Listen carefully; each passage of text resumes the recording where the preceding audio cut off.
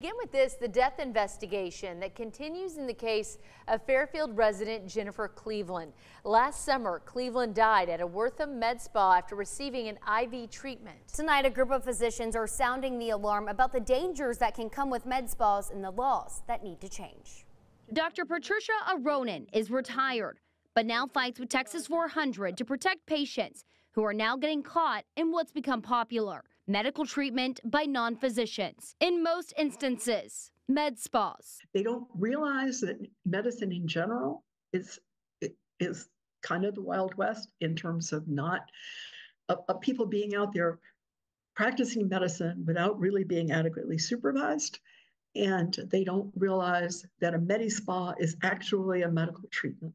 She says the problem with med spas is they aren't strictly regulated, and enforcement of what regulations are in place is poor. It is required by the Texas Medical Board not only that you have a good faith exam done, but that you have medical records are being kept of what was done.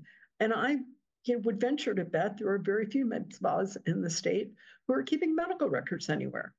Those are two questions that are needing to be answered on the death of Jenifer Cleveland, a Central Texas woman who died after visiting a Wortham med spa. Dr. Aronin stresses the medical director situation in the med spa industry is one of the biggest issues that needs change. And I would like to see on the med spa side of things something that says, that defines how they hire a medical director. I mean, that, that defines it has to be someone who actually can be there, can deal with with problems and can and is knowledgeable enough to be providing them the the direction they need. Dr. Aronin says change has to start with patients, but they need to know to advocate for their health too. It's not to be a scare tactic to the public, but it's just this is not the same as getting your nails done. It just means that we're doing our best to make it as safe as possible.